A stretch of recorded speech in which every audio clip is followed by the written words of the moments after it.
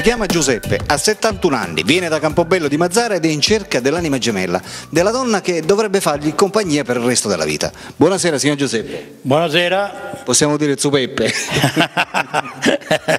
allora, Zupeppe, lei è di Campobello di Mazzara Campobello di Mazzara. e sta cercando questa donna per farle compagnia. Esatto, una donna per cercare compagnia. Esatto. Ascolti, lei è vedovo, mi ha detto. Sì, sì, sì. Da sì, sette anni. Da sette anni. E in sette anni non ha avuto nessuna storia. Nessun- nessuna storia con nessuno. Va bene, Zupeppe. Allora, stabiliamo una cosa. A che genere di donna noi siamo interessati? Ha preferenze per quanto riguarda donna? No, non hai preferenza, basta che c'è una donna che a me mi rispetta e io rispetto a lei e come vediamo insieme, e noi non ne volevo andare, andiamo. Esatto. E tutto questo. Io sono sano, una pinnola non la pento, per nessun È motivo. energico, bello energico. È bello. In salute.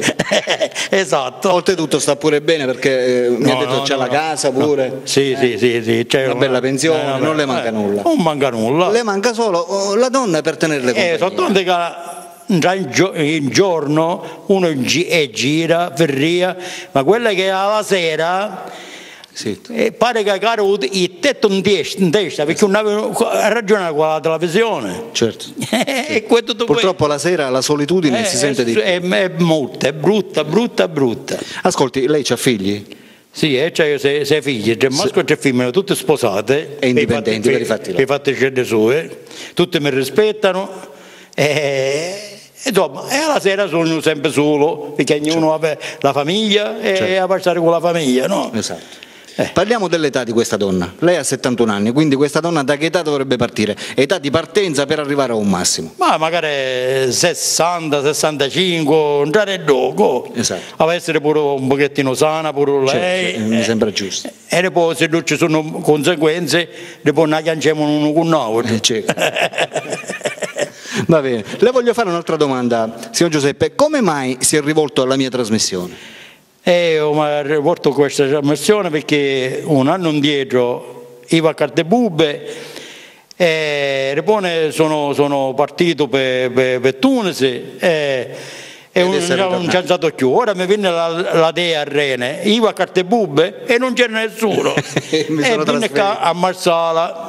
Esatto. Dico, ma lei si è presentato tramite consiglio di un amico? Sì, Eh? sì, sì, un consiglio di un amico. Come si dice sempre, il passaparola è la migliore Eh, pubblicità. esatto, esatto. Basta che uno lascia un buon odore, Esatto, trova da esatto, tutte le parti. Esatto, esatto, perché ci vuole sempre uno che fa una strategia Certo. e dopo lavoro ci va a pezzo. Va bene, signor Giuseppe. Parliamo un po' di lei. Che cosa le piace fare? Come passa il tempo nella giornata? Già so io che lei è automunito, guida la macchina benissimo. Sì. Eh?